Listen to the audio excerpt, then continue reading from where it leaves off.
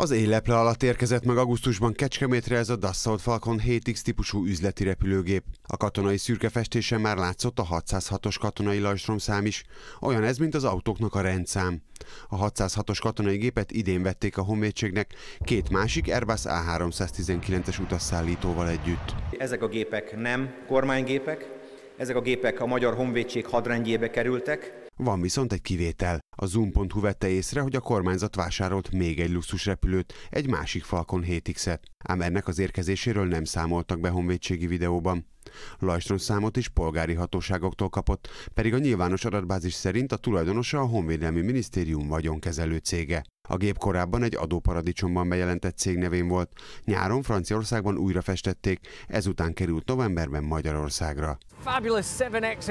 A Falcon 7X bemutatója szerint a kényelmes, bőrülésekkel felszerelt kabinban legfeljebb 19-en utazhatnak egyszerre. Van olyan verziója, amit luxus favoritással láttak el, az üléseket akár francia ágyá is át lehet alakítani.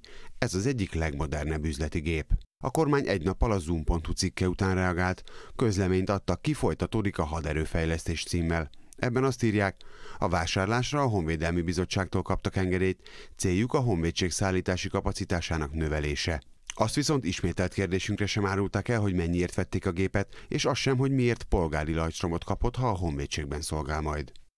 A Honvédelmi Bizottság DK tagja szerint a testület nem polgári luxusrepülő vásárlására, hanem haditechnikai eszközök beszerzésére adott engedélyt. A legfontosabb kérdés az az, hogy ki adott utasítást arra, hogy a magyar adófizetők pénzéből vásároljanak titokban egy gazdag üzletemberek által használt repülőgépet, ami nem honvédelmi célra vásárolt gép.